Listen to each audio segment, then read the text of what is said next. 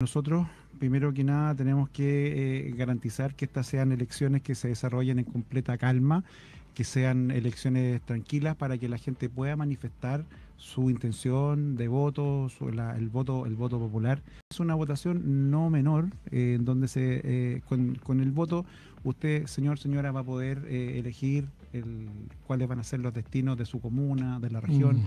y eso es importante. Por eso es bueno, es bueno también que el día de, el día de mañana o el sábado, importante decir eso, ¿ah? hay gente que todavía piensa que tiene que ir a votar los dos días. No. Es un día. Es un día. Usted, elige. usted elige, usted elige ir a votar o el sábado o el domingo. Entonces no, no, no, no, no es que haya que ir a votar los dos días.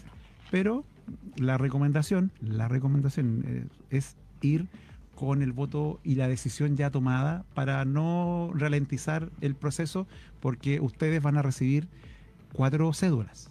Van a recibir una para gobernador, una para alcalde, una para gore y otra para concejal.